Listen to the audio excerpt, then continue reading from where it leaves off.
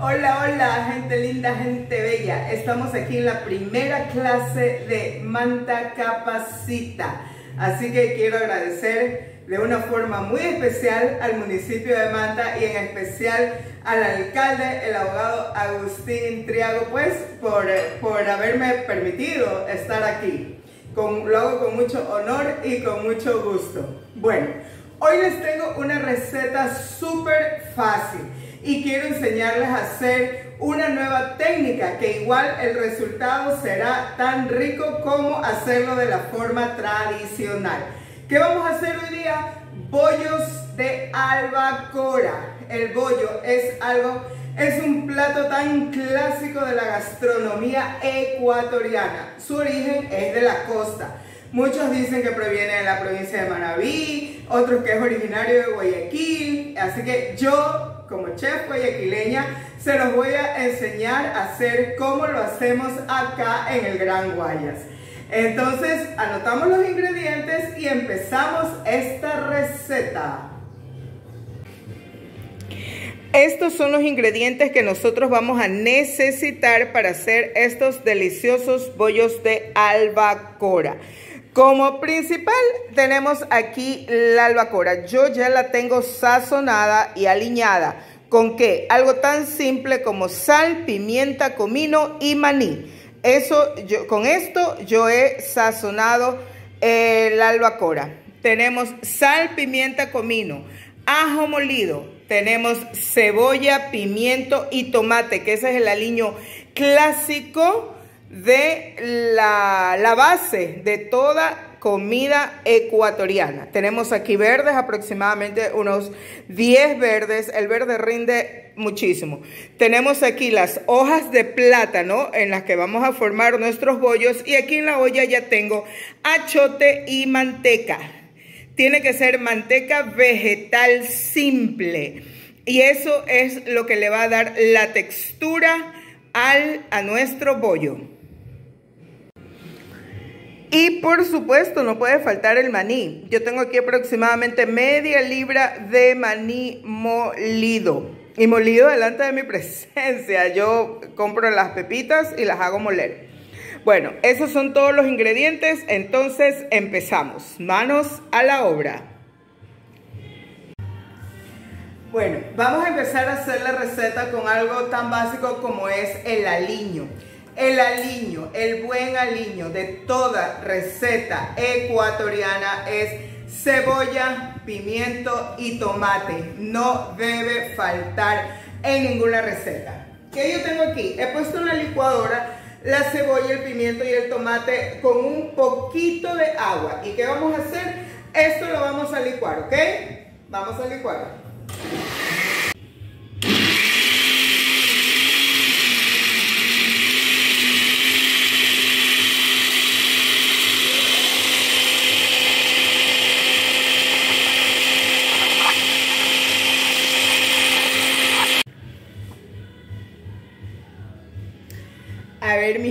Como les dije, aquí en la olla yo ya puse, tengo puesto eh, manteca y achote. Tiene que ser achote. El achote es el secreto para que el verde no se ponga negro. Entonces, ya tengo yo prendida ahí la hornilla. ¿Y qué le vamos a agregar? Yo tengo aquí ajo molido. Ustedes pueden aproximadamente unas 10 pepitas de ajo. Lo pueden aplastar, lo pueden este, machacar, lo pueden licuar. Yo lo tengo aquí hecho pasta. Entonces, echo el ajo.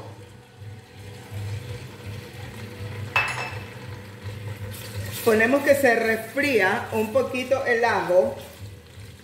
Este yo no le pongo ni aceite, pues ni mantequilla, porque ya les dije, yo uso manteca vegetal simple, que es la que le va a dar textura a la masa de bollo. ¿Qué tengo aquí? El licuado, el que yo les dije que es la base de toda cocina, comida ecuatoriana. Y solo tiene cebolla, pimiento y tomate. Y tiene que ser la cebolla colorada o paiteña. Esa, ni cebolla blanca ni perla. Al menos así lo hacemos acá. Bueno, le vamos a poner el, aliño, lo que hemos licuado. Esto solo tiene ajo y tiene un olor que ni se imagina. Riquísimo. Bueno, este aliño lo dejamos aquí melcochar. Y le ponemos sal, pimienta y comino. Recuerden que también el pescado ya lo tengo sazonado con sal, pimienta y comino, pero el aliño necesita pues también sal, pimienta y comino. Yo lo licúo, como vieron, lo licúo en un poquito de agua, no ni en caldo, este, y si es posible, depende de la cantidad de tomate, no le ponen ni agua, pero en este caso yo sí le puse un poquito. Sal, pimienta y comino, es necesario esas tres cosas. Entonces, vamos a dejar melcochar como les dije. O sea, que reduzca un poco. Ya vamos a ver cómo va a quedar esto. Y vamos al siguiente paso que es muy importante. Esa es la nueva técnica que les voy a enseñar hoy día. Bueno, dejamos esto aquí y vamos al siguiente paso. Bueno, mi gente, ahora vamos al siguiente paso, que es lo que yo les dije que es muy importante. Antes quiero contarles una anécdota, por eso es que se me ocurrió este paso. Hace unos años, muchos años, este, con un grupo de amigos fuimos a una, me invitaron pues a una hacienda, eh, era una finca platanera en el Carmen, provincia de Manabí. El lugar se llamaba Vuelta Sola, me acuerdo tanto. Entonces, el último día, la anfitriona, pues la señora dueña de la finca, nos iba a hacer bollos.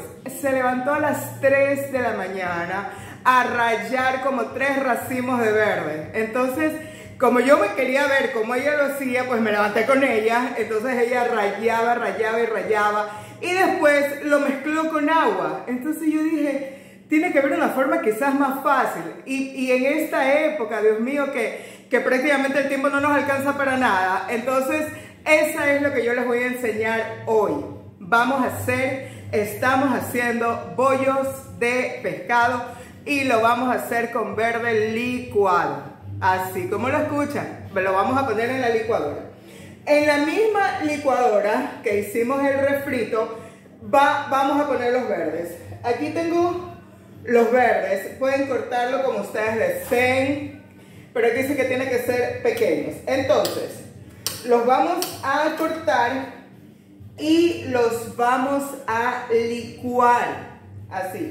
Cualquier duda, cualquier comentario que tengan, yo se los voy a despejar al final de esta receta, pues cuando podamos conversar aquí en vivo.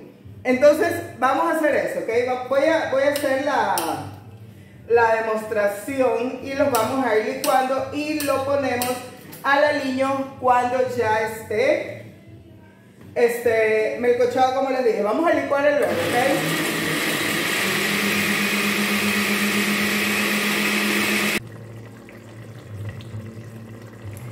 A ver, mi gente, si ven, esto es lo que llamo yo melcochar o que coja punto. Si ven, a lo que hierve como que salta. Entonces, cuando el aliño ya está en este punto melcochado y cocinado, le vamos a agregar los verdes licuados. Miren. Y prácticamente ya mismo está. Movemos bien. Dejamos que esto coja punto y ya tenemos este, la primera parte de la receta, porque falta pues formar los bollos. ¿Sí ven? Y esto hay que licuarlo en el verde, hay que licuarlo en muy poquita agua. Y tranquilos que no se les va a dañar la licuadora. Bueno, dejamos que esto espese, también coja punto y ahí regresamos. Aquí vamos a hacer el otro paso pues mientras coge espesor el verde. En la misma licuadora, todo vamos a usar en la misma licuadora, no es necesario lavarla, simplemente le ponemos agüita y, hacemos el otro paso. Tenemos aquí, les dije, aproximadamente media libra de maní. Entonces, ¿qué hacemos? Licuamos el maní y ese es el último paso. ¿Ok? Vamos.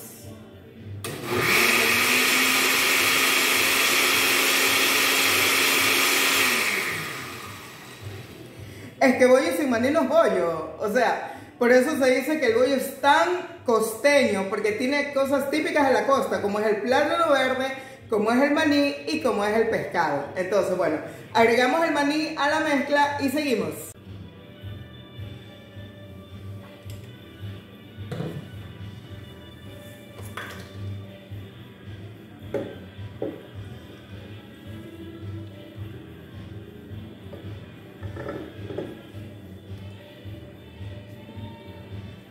Dejamos que esto coja punto y seguimos.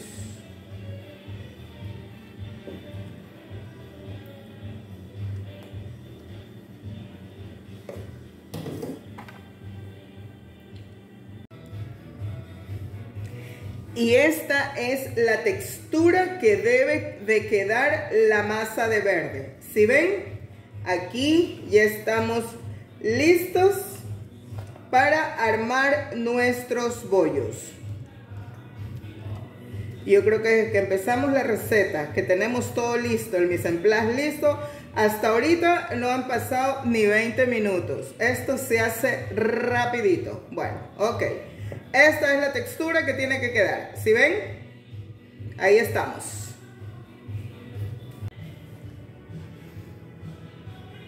Bueno, mi gente, ahora viene la parte más importante que es armar el bollo. Yo ya tengo aquí las hojas limpias y cortadas. Les recomiendo que utilicen tijera para cortar, no cuchillo, tijera. Y hay que cortarles los filitos de esta parte. Si ven, aquí dejé esta con un filito. Esto hay que cortarle porque esto va a dificultar que nosotros doblemos nuestro bollo. ¿Ok? Entonces, y aquí no es necesario ni siquiera amarrarlo.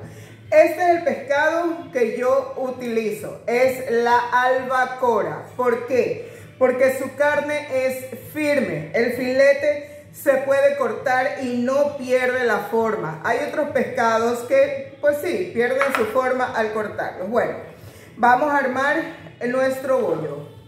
Le vamos a poner, aquí ven, si ven la textura, vamos a poner unas dos cucharadas. Bueno, tengo aquí también un, público y me dicen que sí puedo eh, poner al refrito hierbita. No, estos bollos, el único, lo único que tienen son cebolla, pimiento y tomate. No tiene ningún tipo de hierbita. Bueno, ponemos aquí y un trozo, pues grande o como ustedes deseen, de albacora. Si ustedes desean, le ponemos encima otro poco o si no, ahí nomás. Esta es la forma correcta de cerrarlo. Lo unimos aquí arriba, le hacemos dos doblez aquí arriba y lo sellamos hacia abajo. ¿Sí ven? Como les dije, esto ni siquiera tienen que amarrarlo y ahí quedó.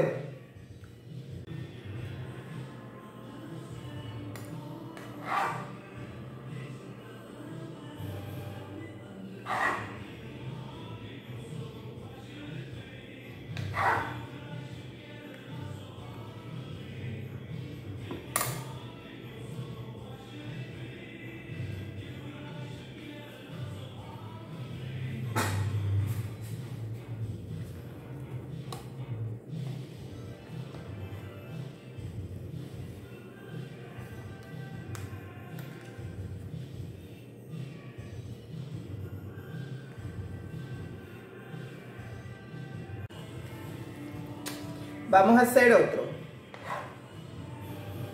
Ponemos nuestra masa de verde. Esto lo pueden hacer del tamaño que ustedes desean. Si lo van a hacer más grandecito, pues cortan la hoja más grandecita. La albacora. Hacia arriba. Hacemos dos dobleces hacia arriba y luego las hojas hacia abajo. Y ahí está.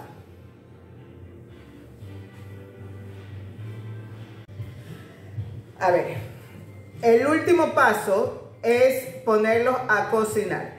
El bollo tiene que ser cocinado al vapor, nunca a fuego directo. Entonces, yo tengo aquí pues mi mini olla tamalera que le hemos puesto agua encima al vapor. Tranquilos, si no tienen olla tamalera ya les voy a decir cómo lo pueden hacer. Entonces, pongo, eh, siempre sobran algunas hojitas, ¿verdad? Entonces yo pongo de base una hoja de plátano y encima los bollos que hemos formado. Ya les voy a decir este más grandes. Bueno, aquí vamos a poner unos tres bollos, pues es solo demostración. Lo tapamos, lo llevamos al fuego. Recuerden que el verde está cocinado, solo se necesita cocinar el pescado. Esto, en uno, cuando empiece a hervir, 15 a 20 minutos y ya está los bollos listos para servir, ¿ok?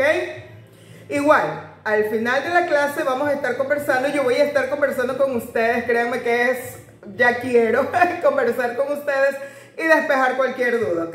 Entonces, lo llevamos al fuego.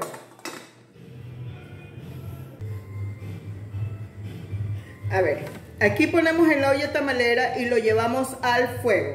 Yo también los cubro con otro pedazo de hoja de plátano. Esto pues va más sabor. Y lo tapamos, tiene que estar tapado y como les dije, en 15-20 minutos y ya está. A ver, ahora les voy a enseñar a hacer una olla vaporera casera. Una olla, la que ustedes tengan en casa, lo que nosotros necesitamos es provocar vapor. Como les dije, ponemos el agua. Y tiene que ser algo de metal, porque si nosotros ponemos quizás una tapa así, esta parte se puede derretir, ¿verdad? Entonces, unas simples tarrinas, latas de sardina, de atún, con lo que sea. Eso va a ser este, suficiente o necesario para hacer una, una olla vaporera casera.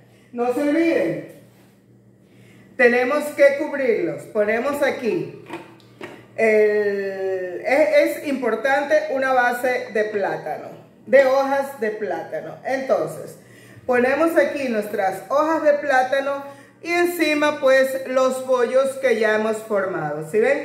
Yo les dije, no es necesario ni que lo amarren ni nada. Esto no se va a abrir. Entonces, de la cantidad que yo les di, de unos 8 o 10 eh, plátanos verdes, salen de 10 a 12 bollos. Obvio, dependiendo del tamaño.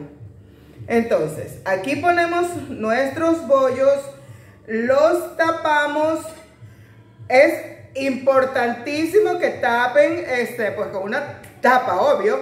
Y los llevamos al fuego. Igual, de 15 a 20 minutos. Y eso es todo. Y están nuestros bollos listos para servir.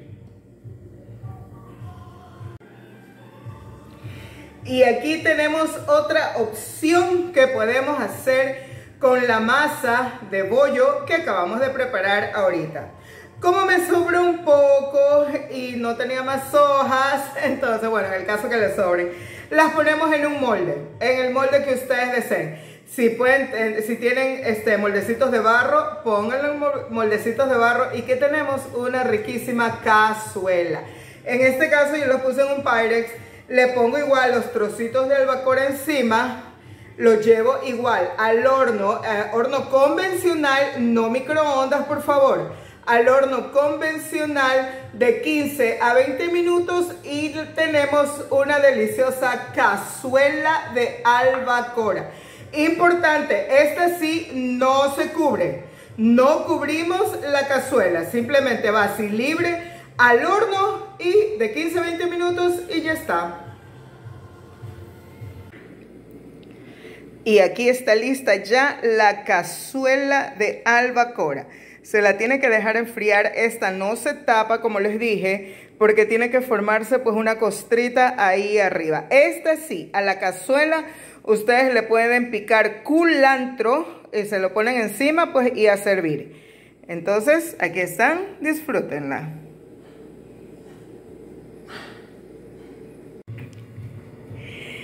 Y ya tenemos listos nuestros deliciosos bollos de albacora.